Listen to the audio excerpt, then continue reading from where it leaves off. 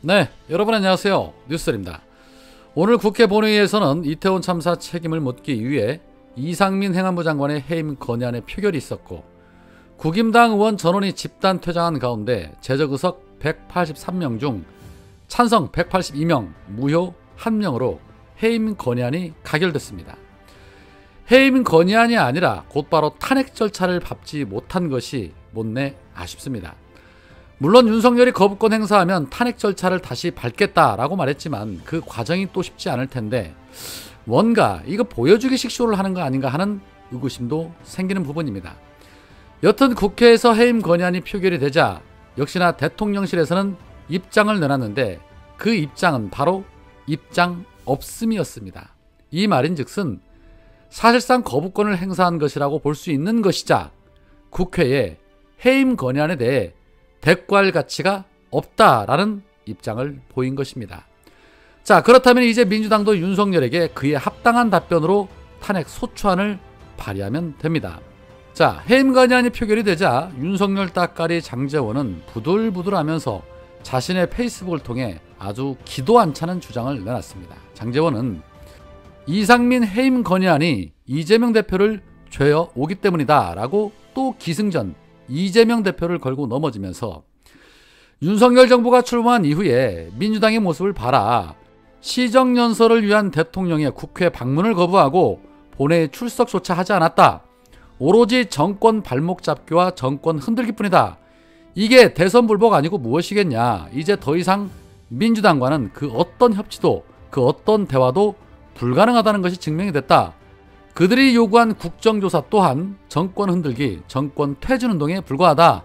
애초 합의해줘서는 안 될 사안이었다.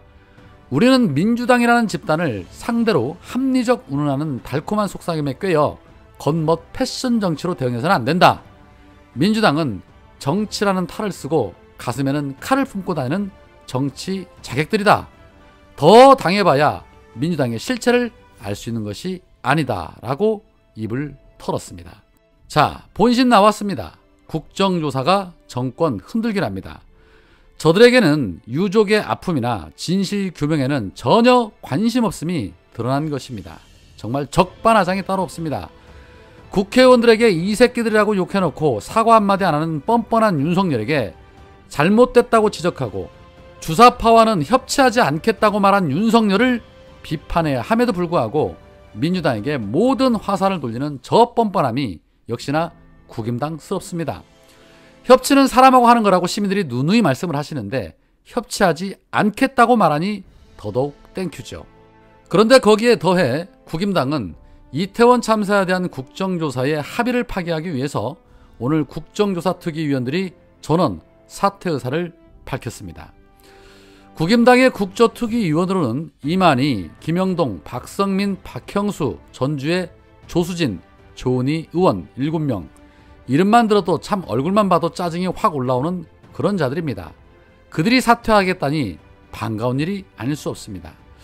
이왕이면 국조특위 사퇴 말고 국회의원직 전원 사퇴를 한다면 참 좋을 텐데 말이죠.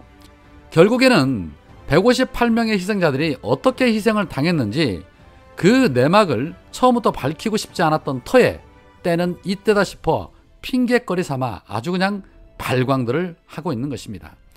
자, 그렇다면 야당 의원들로 국정조사 하면 됩니다. 뭐 누가 잘못하고 있는지는 국민들이 판단할 것입니다.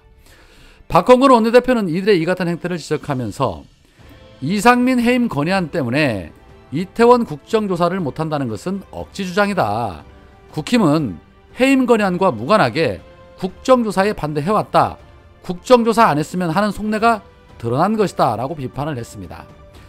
희생자 안에 만약에 국임당 의원들 자식들 한 열댓 명이 속해 있었다면 저들은 이처럼 윤석열 명령에 따라서 이상민 지키기 위해 이 난리 피우지 않았을 것입니다. 국민의 수많은 참사에도 불구하고 윤석열 눈치 보며 그의 말 한마디에 충성 경쟁하듯 이성적인 판단도 못하고 저런 행태를 보이는 모습을 우리 국민들께서 반드시 심판할 것입니다. 주호영이 거대 야당이 내년도 새 예산안을 통과시켜주지 않는다라면서 다음 선거에선 민주당이 힘자랑 못하도록 의석수를 줄여야 한다라고 입을 털었는데 당신들이 그렇게 말하지 않아도 국민들이 알아서 다음 총선에서는 민주당에 200석 이상 몰아줄 테니 두고 보면 알게 될 겁니다. 거기에 어제 권성동의 한 말은 충격을 넘어 가히 경악스러웠지요. 권성동은 이태원 참사 유가족 협의회가 출범을 하자 세월호처럼 정쟁으로 소비가 되다가 횡령수단으로 악용될 가능성이 있다라는 인간이라면 절대 내뱉을 수 없는 배설을 토했습니다. 인간이라고 다 같은 인간이 아니라는 걸 또 한 번 보여줍니다. 이에 민주당의 이수진 대변인은 권성동의 종북 횡령 발언은 이태원 참사 유가족뿐만 아니라 세월호 참사 유가족마저 욕보이고 있다. 재난을 막지 못한 책임에 대해서 반성을 못할지언정 진상규명을 요구하는 유가족과 시민단체를 욕하는 이유가 무엇이냐? 뭐가 그렇게 두렵냐? 참사의 진상이냐? 아니면 참사에 책임지라는 국민의 명령이냐? 국민의힘이 비상식적 모습에 윤석열 정부가 참사 유가족을 개별적, 선별적으로 만나고자 했던 저희를 의심할 수밖에 없다. 국힘은 과거로부터 교훈을 찾아라. 유체이탈로 세월호 참사 책임을 외면했던 박근혜의 잘못을 반복하지 말길 바란다. 라고 말했습니다. 박근혜의 전철을 밟아서 탄핵되고 싶어 안달인 것 같은데 그렇게 해달라면 해줘야죠. 세월호 때도 박근혜가 처음부터 적극적으로 대처하고 있는 그대로 국민들에게 진실되게 오픈을 했더라면 상황은 달라졌을 수도 있었습니다. 그런데 윤석열 하는 짓이 또 박근혜 전철을 그대로 답습하고 있으니 그렇다면 국민들 역시도 박근혜처럼 그렇게 할 수밖에 없는 것이죠. 본인들이 원하면 그렇게 해 드려야지요.